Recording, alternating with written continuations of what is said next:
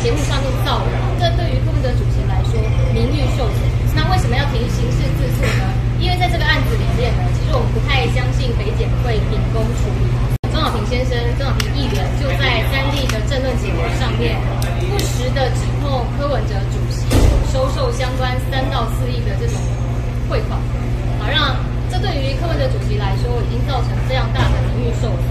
身为一个台北市议员，竟然用这样子贪血喷人方式呢在节目上面造谣而且造谣完之后这个政论节目才会配合相关的新闻网媒哦再做第二次的转述这对于他们的主席来说名誉受损所以呢我们在呼吁钟小平先生出来道歉他限期不做看起来呢还是持续认为说这件事情对他来说